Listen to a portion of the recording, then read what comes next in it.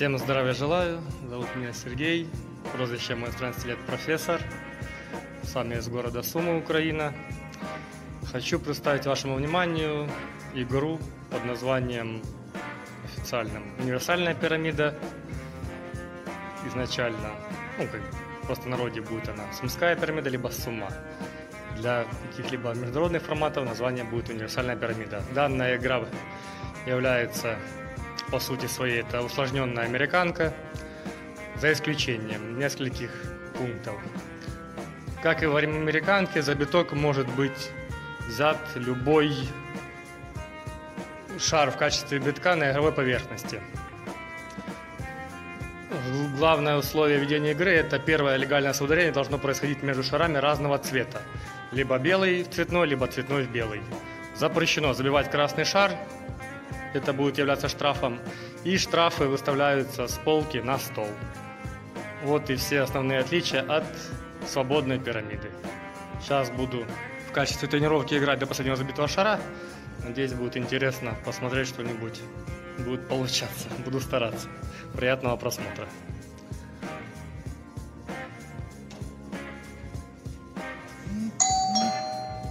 Обычная партия ведется до 8 шаров. В качестве тренировки буду играть до последнего забитого. А разбивы в партиях происходят поочередно. В остальном все остальные правила соблюдаются согласно официальным международным правилам по пирамиде.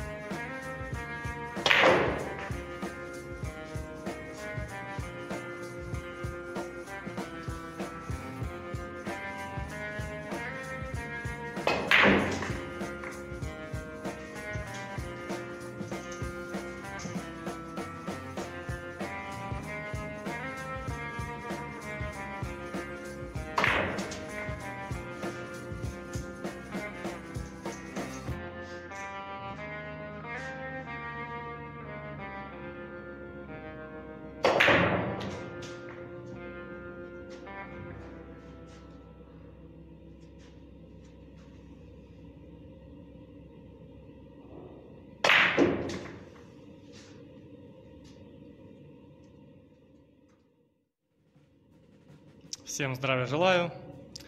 Зовут меня Сергей Профессор, я из города Сумы, Украина.